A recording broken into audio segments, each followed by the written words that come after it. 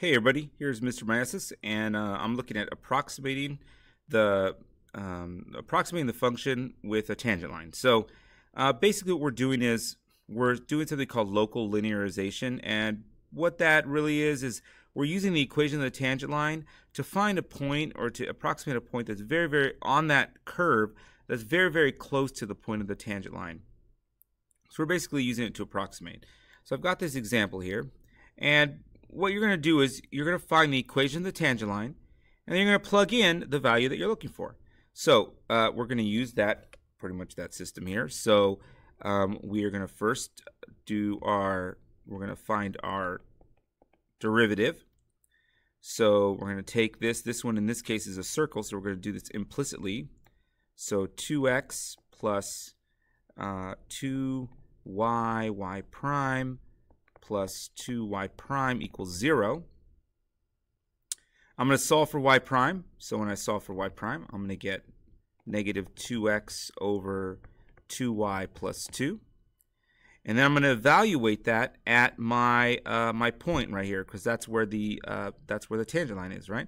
So I'm going to value I'm going to evaluate that at negative oh sorry 2 and negative 2. So I'm going to plug in my values, boop, boop, boop, plug it, plug it, plug in, and I'm going to magically get 2.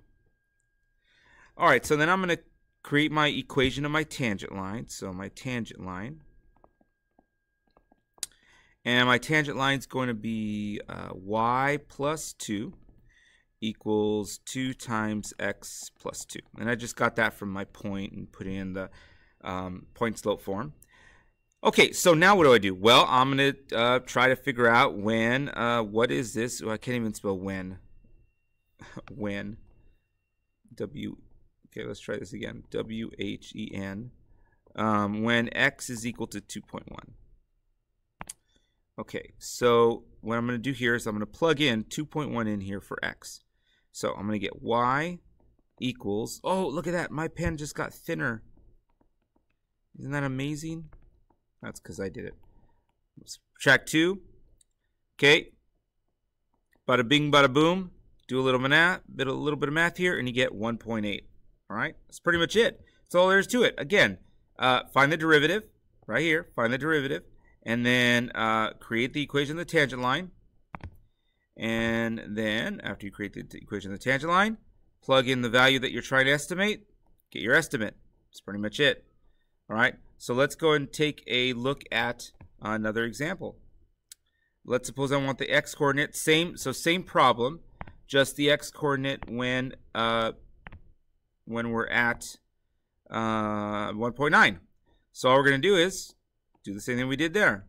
Plug in 1.9 in for x in my equation, the tangent line. Bada boom, bada bing. Da da da. We get negative 2.2. All right, so let's take a look at the last one. Oops, the last one here if uh, if f of 2 is 3 and f prime of 2 is negative 2, what is going to be, oh, I like purple, let's use purple. Um, what is the local linear approximation to approximate f of 2.01? So now we don't have the derivative, we don't have an actual function. We do know, though, that this point right here, um, this right here gives me a point of 2, 3. And this right here tells me that my derivative, uh, my derivative at x equals 2 is negative 2. So that's the slope. So my slope is 2 of my tangent line, right? So I could come up with my equation of my tangent line. Tangent line is going to be y minus y1 equals m times x minus x1. So I'm just going to, I just like to move that, um, that 3 over there. So then I'm going to figure out uh, when x is equal to 2.01. So let's go ahead and plug this in. Equals 2 times 2.01 minus 2 plus 3.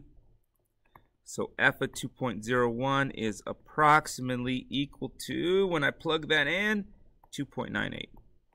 Right. You could do this without a calculator, right? This is just going to be 0.01 times 2. It's 0.02 and subtract or add it there, right? So um, did I miss a negative? I did. I'm like, wait a minute, I missed a negative. And I'm sure when you were watching this video a little while ago, you're like, wait, wait, Mr. Maestas, you missed a negative. Why did you miss a negative? Why did you drop the negative? I didn't. I must just not been thinking. So here it is. I put it back. okay. Um, the answer is the same, 2.9. Okay, guys, there you go. That is uh, local linearization, or basically using the tangent line to approximate a number, uh, approximate a value of the function close to that tangent line. Thanks for joining me. Bye-bye.